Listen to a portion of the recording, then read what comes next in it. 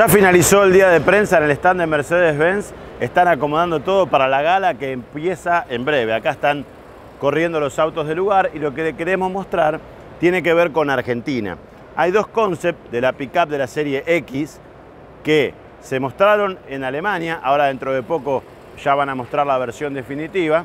Algunos colegas tuvieron la suerte de ser invitados y viajar a conocer estos concepts, pero nosotros tuvimos que esperar a que lo traigan a nuestro país. ¿De qué se trata? Bueno, le están mostrando cómo podría ser la evolución de la Nissan Frontier, que se va a fabricar en la planta de Renault, para que se transforme en una pickup Mercedes.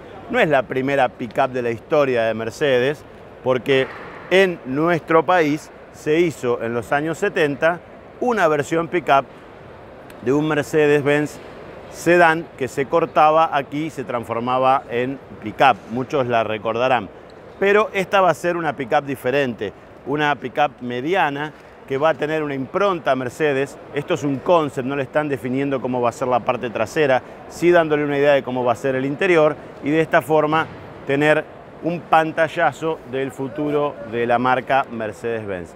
Y también aquí hay como centro del stand la nueva clase G. Va, nueva, es uno de los autos más antiguos que tiene Mercedes-Benz, pero es un icono del 4x4, un auto que realmente para Mercedes-Benz es como que no lo puede dejar de fabricar. Cada vez le pone más equipamiento, más potencia, más precio y lo continúan vendiendo realmente en todo el mundo. Y allá hay otra variante que también tienen sobre la futura serie X que han anticipado aquí en nuestro país.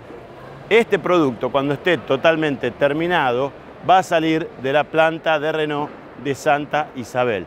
Una planta que se inició en 1955, que la inició ICA y que supo hacer pickups también. ¿eh? De allí salieron las Gladiator, la pickup Jeep, la pickup Baquiano y ahora va a haber tres nuevas pickups en la línea de montaje. Este sería un aspecto de la versión cuasi definitiva que ya dentro de poco va a estar a la venta en Europa.